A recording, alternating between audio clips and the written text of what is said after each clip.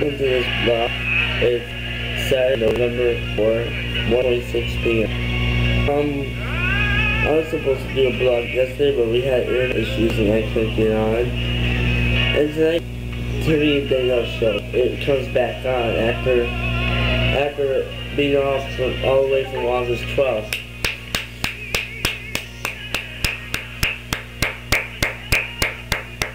I'll be working on it um, there, and I'll probably be up early tomorrow. I don't know.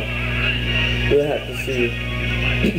but anyways, I gotta go do some stuff, so I'll talk to y'all later. Bye.